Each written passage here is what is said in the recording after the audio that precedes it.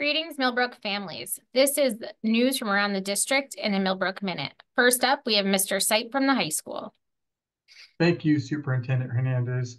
For the short week this week, this is a friendly reminder that we have a full day of classes on Monday next week and midterm exams Tuesday through Friday. Students are only required to come to school Tuesday through Friday for scheduled midterms exams. There will be buses at 2.30 and late bus runs at 3.25 available for students taking the exams. Have a great weekend. Here's Mr. Cabello at the middle school. Hey, everybody out there. Uh, this week, I was really taken aback as the weather gets colder and messier out there. It's great to see our students inside and outside the classroom. Uh, so many of our all county musicians doing some great things. Our girls modified basketball team wearing their jerseys in the hallways our track team running the hallways, not out in the cold outdoors, and our boys basketball team in their shirts and ties, uh, ready for their big games this week. Uh, I really encourage you to come out and see our athletes, musicians, and students inside and outside the classroom as we continue to work hard uh, during these tough weathered times. With news from Alden Place, here's Mr. Lipka. Thank you, Mr. Cabello. Three Alden Place fifth grade band students were successful at the all county auditions last Saturday.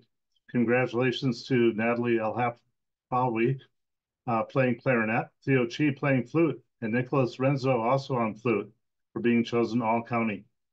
Although our science fair is almost a month away, Meet the Scientist Day has been planned for next Monday.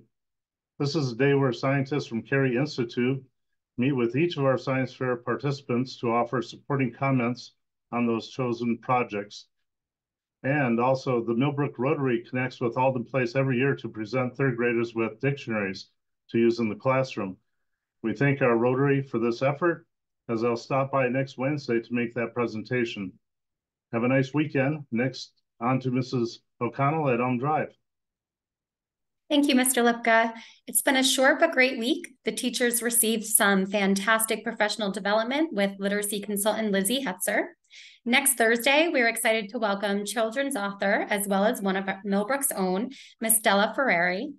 Miss Ferrari will be presenting to each of our kindergarten classes. Thank you and have a wonderful weekend. Now on to Ms. Chanowski with Pupil Personnel Services. Thank you, Mrs. O'Connell. It's hard to believe, but here in the PPS office, we are already starting our planning for annual review meetings um, to start planning out what your child's education will look like next school year. Um, we will be starting up with our middle school students in February. So in the coming weeks, please be looking for that meeting invitation for your child's annual review meeting. That again will be taking place in February. Um, our high school um, and two elementary buildings of Alden Place and Elm Drive will be happening in subsequent months. So just if you have any questions at all, please do not hesitate to reach out to the PPS office with your questions. I hope everyone has a great weekend. And now on to Ms. Holzberg with Student Services. Thank you, Mr. Chanowski. It has been a great week popping into classrooms and getting to observe the great work teachers are doing with our children. On behalf of the school counseling department, students, and families, Please take a look at our school counseling websites for updates on college planning resources, news and announcements regarding upcoming opportunities for our students, and more. I hope you all have a great weekend. And now on to Dr. Watkins and curriculum and instruction. Thank you, Ms. Holzborg. So this week I also had the pleasure of sitting in with um, Ms. Hetzer as she worked with both kindergarten and second grade. I loved the conversations and the reflections that teachers were having, and I look forward to seeing some of the, the projects that the teachers worked on today put into place and how our students do with that. In addition, I just wanted to remind all of our families to um, take a moment to look at the newsletter produced each week. There's really impactful stories that are put together by our own uh, media specialist, in addition to all the highlights that are linked within that document. With that, we're off to Mr. Garcia in Business and Personnel. Have a wonderful weekend, everyone. Thank you, Dr. Watkins. Pretty busy uh, time for us in, this short week in the business office. The state has uh, issued the first draft of the governor's proposed budget, which means we got our first look at our potential aid for next year. So, uh, as Ms. Janowski said, we're already knee deep in our annual work. And, and on our side, we're planning the budget for next year. Uh, so more information will be released on that as we move through the process at upcoming board meetings, and we'll be sharing some of the highlights here in the Millbrook Minute in the future. Uh, with all the crazy weather we've had, we just want to thank our custodial and maintenance workers once again for keeping us safe and dry and allowing us to get to campus every day that we're able to. So thank you guys for all the hard work you're putting in outside in the cold to make sure that our staff and students can get in every single day. Uh, speaking of staffing, we're still looking for some really critical teaching positions. Specifically, uh, we're looking for a Spanish teacher, uh, ENL instructors, as well as uh, a, uh, I believe, a secondary vocal teacher. That was what it was. So if you or anybody that you know is interested in applying to be part of the Millbrook team, please check on our website, millbrookcsd.org.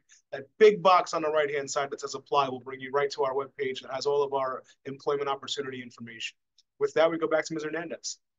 Thank you, Mr. Garcia. I want to give a special thank you to two community partners. One is the Millbrook Education Foundation, who facilitated a grant through Berkshire Taconic for thirty-two thousand five hundred dollars for targeted professional development in the area of literacy. So thank you so much for that. And also to Onsemi, who donated one thousand dollars, five hundred for uh, music and five hundred for athletics.